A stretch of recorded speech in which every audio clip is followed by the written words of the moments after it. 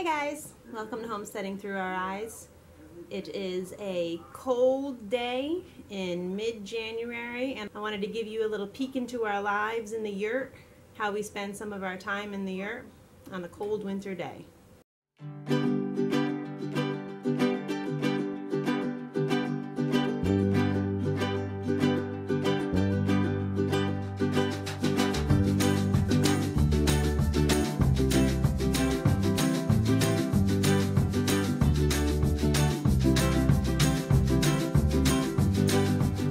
We got the fire kicking.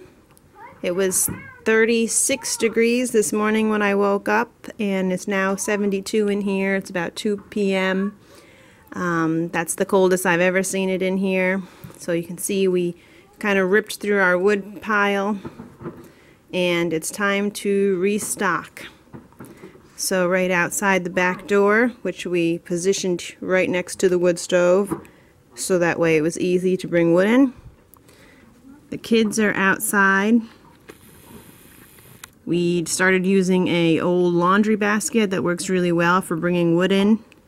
And the kids will fill the laundry basket up, bring it to the door, and then we'll get this stack stacked up as high as we can to the wood stove pipe.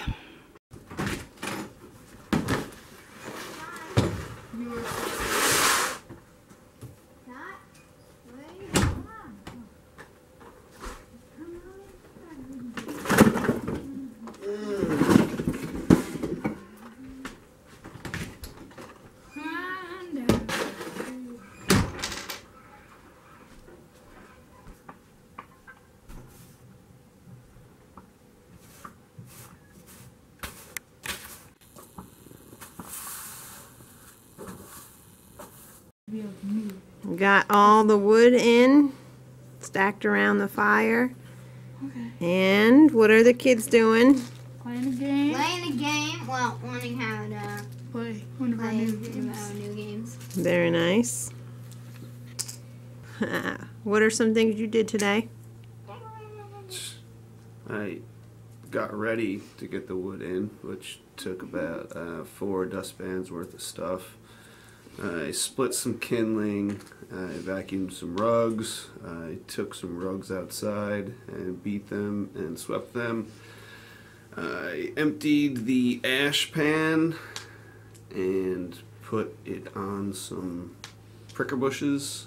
That's what we've been doing with the ashes lately in order to kill them and take them out, hopefully. Ellie's telling me to smile. Guess I'm not smiling enough. Um, went down and pumped some water. Um, about 10 gallons, I think. Um, hmm. What else? It's dinner time in the yurt. Lately we've been eating raw and eating veggie sandwiches. So that's our dinner for the night. Carrots, cucumbers, cabbage, peppers, olives. Thanks for taking a little glimpse into one of our winter days. I'm gonna chow down on a nice meal here, and we'll check you later. Peace. Peace!